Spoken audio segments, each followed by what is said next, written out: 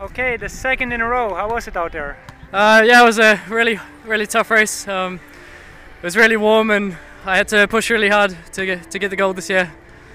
Yeah, you struggled a bit in, in the end. You had a big lead, and then it shrunk to three seconds. Did you do any route choice errors, or was it just the running speed? Uh, I felt I had some route choice errors uh, in the beginning, and I pushed really hard after those to try to make up some time, and I think that's why I had a good time through the run through. But after that, I was really tired, and there was some short and really steep climbs, and I had to walk some of those, and I was really tired in the end. And what do you think of the course? Ah, the course was really fun. Um, it was really challenging, and I really enjoyed it. Did you expect this kind of course up here?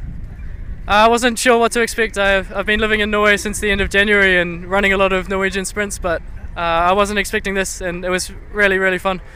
I enjoyed it. And uh, how are you going to do in the forest? Have you got any chances for a medal in the forest as well? I'll have to wait and see for these races. Uh, I'm looking for a good result in the long distance, but yeah, we'll, we'll wait and see. Good luck. Thank you.